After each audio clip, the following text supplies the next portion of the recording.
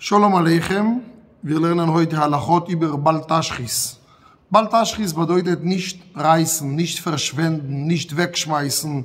Die Torah sagt uns in 5. Buch Moshe Kapitel 20, Lotashchit et Eiza. Also soll man nicht die Bäume äh, wegreißen. Es ist verboten, wegzuschmeißen, verschwenden, essen, Geschirr, Kleider, Gebäude, einfach eine gute Sache nehmen und kaputt machen. Es gibt noch in der Welt verschiedene Schöpfe, kann noch jemand davon äh, genießen. Zum Beispiel, wenn einer geht zum Buffet und er legt in seinen Teller Essen, soll er achten, nicht nehmen zu viel, damit soll man nicht wegschmeißen, das, was ist Rest geblieben. Ein Mensch, der hat gemacht eine große Mahlzeit und es ist geblieben viel Essen, soll er frieren, soll er verteilen, soll er geben. Und wenn es gibt nicht Menschen, soll er es geben, Hunde, Tiere, und genauso Kleider. Hast du Kleider, die du nicht mehr brauchst? Gib das arme Leute, leg das in eine Dose von dem Reuten Kreuz, was weiß ich. Mach etwas, irgendjemand braucht das, spende es. Je mehr der Mensch ist edler, größer, feiner, zadig ist, er wird nicht verschwenden Sachen. Auch es wird bleiben, Entschuldigung, es klingt so sparsam oder geizig, aber es ist geblieben noch ein bisschen Shampoo in der Flasche. Lege rein Wasser, nutz dem Shampoo, genieß. Es ist geblieben noch ein bisschen Senf in die Dose, warf nicht da weg. Nimm dem Brot und mach mit dem Brot sauber, dem Senf oder die Mayonnaise oder verschiedene Sachen. Deshalb muss man sehr, sehr achten, die Sache äh, nicht wegzuschmeißen oder missachten. Deshalb muss man sehr, sehr vorsichtig sein, Ich, wir beginnen bald Aschris bei Brot. Wenn man sieht Brot auf dem Boden, muss man aufheben, klar. Heute die Sache ist nur, die draußen, es ist Krankheiten, man weiß nicht, wer hat das angefasst. Wenn jemand kann Handschuhe nehmen und das Brot aufheben auf eine bessere Ort, es ist besser.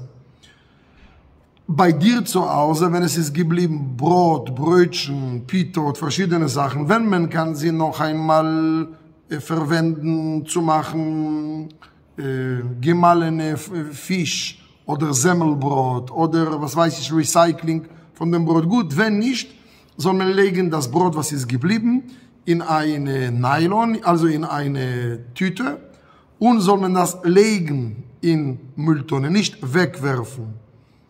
Und deshalb muss man achten. Und genauso auch äh, gibt eine Engel, der zuständig auf dem Armut, der heißt Naval, Schmutz. Deshalb, dort wo es Krummel und Schmutz auf dem Boden gibt, ein Engel von Armut. Und dort, wo es rein und sauber, dort ist der Engel von Osher, von, von Reichtum. Es ist unglaublich, ich sage euch, wo steht das geschrieben? In Talmud Psachin 111 und in Chulin 105.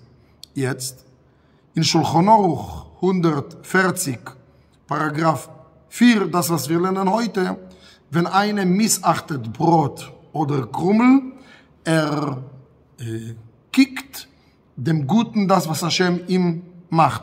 Deshalb muss man achten, der Engel, der zuständig auf der Parnose, der heißt Nokid. Und das ist Nekiyut, Sauberkeit. Und der Engel, der zuständig auf dem Arm, der heißt Novol oder Schmutz.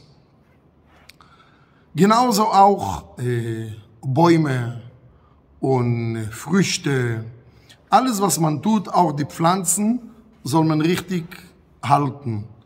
Das heißt, äh, soll man auch nicht Bäume einfach reißen und soll man auch nicht äh, Früchte pflücken.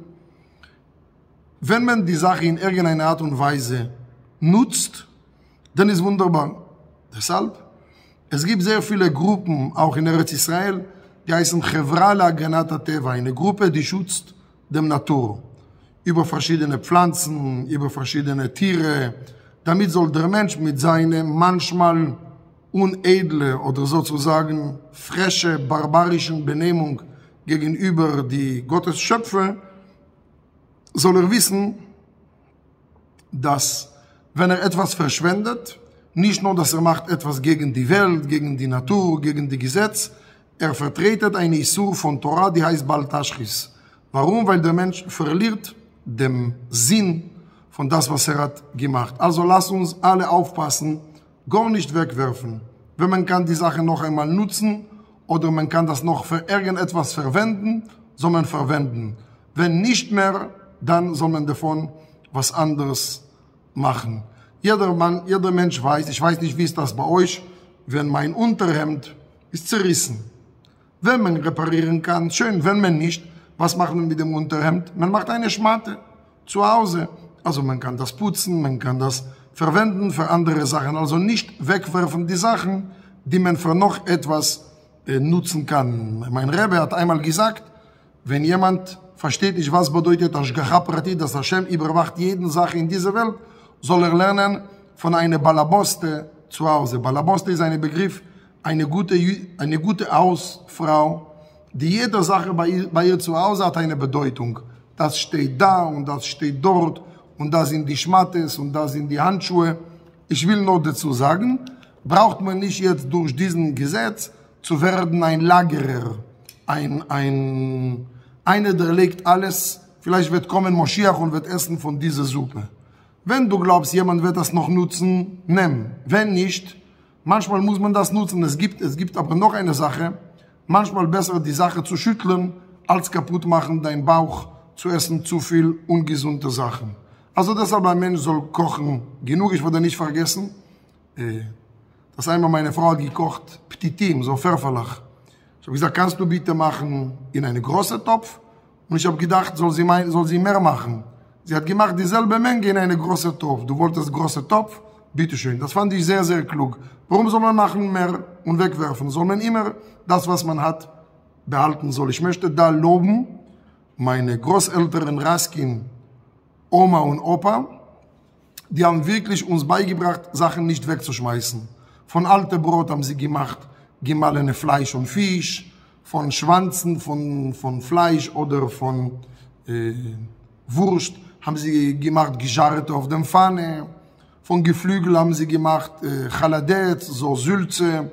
Sie haben nicht verschwunden Sachen, sie haben immer die Sachen, es geblieben alte Früchte, hat sie gemacht, Kompott, Und das sollen wir die neue Generation auch beibringen. Ich kann nicht verstehen, wieso manchmal Kinder nehmen einen albe Apfel, sie haben nur gemacht Abyss und wollen wegwerfen. Ball, Taschris, das ist streng verboten. Sei gewünscht.